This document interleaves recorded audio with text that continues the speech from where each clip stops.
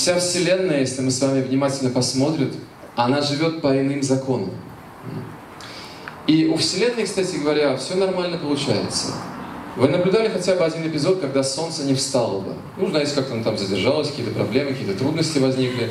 А кто-то с кем-то не договорился, кто-то расстроился, Солнце расстроилось, Луна расстроилась, все, конфликт поднебесный там, и что-то происходит. Все, оно не встало. Одна Луна висит на небе. Мы с вами такое не наблюдаем. Я в свое время прочитал известное исследование относительно тундры. Тундра сейчас в таком достаточно плачевном состоянии, ее постоянно бороздят эти самые вездеходы.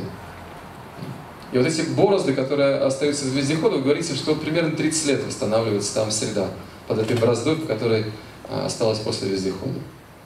Вот. Ученые не знают, что делать. Один ученый сделал исследование, сказал, все, что нужно сделать, просто перестать по ней ездить. Она сама восстановится. В природе действуют эти силы восстановления, просто в покое нужно оставить, не вмешиваться в нее. Зачем я про это говорю? Я хочу обратить внимание на тот простой факт, что во Вселенной действуют силы бескорыстия. Посмотрите, пожалуйста.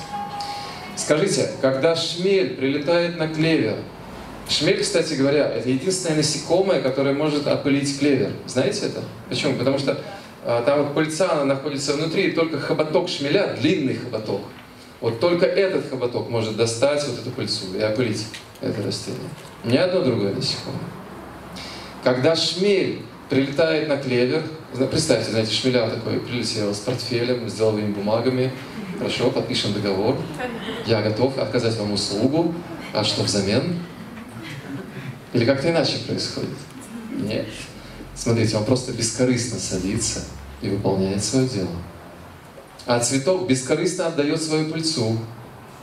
Тот самый нектар, который собирает шмель. У них никаких деловых договоренностей. Знаете, там, вот как это, э, поставки такие, такая-то услуга, такие-то поставки, такие-то сроки. Давайте договоримся, когда вы прилетите, потому что у меня график.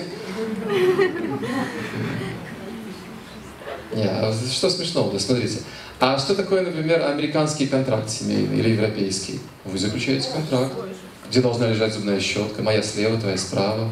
Твоя должна смотреть вверх, моя чуть-чуть бок, я так привык. Если нарушение, штраф, судебное разбирательство.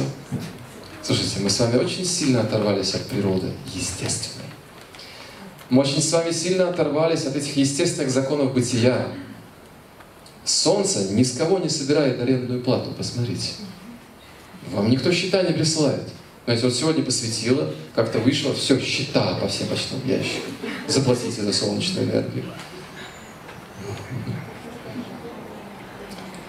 Итак, мир живет, э, опираясь на силы бескорыстия. Вот эти силы бескорыстия действуют во Вселенной. Мы с вами имеем огромное количество проблем нашей жизни, потому что наша жизнь строится на эгоизме. И вот если мы говорим о лидерстве, лидерство, оно должно быть основано на бескорыстии. Вы скажете, как же так? И что это такое? И как, например, бизнес может быть бескорыстным. А мы с вами пока не понимаем, что происходит. Потому что сейчас происходит переход эпох.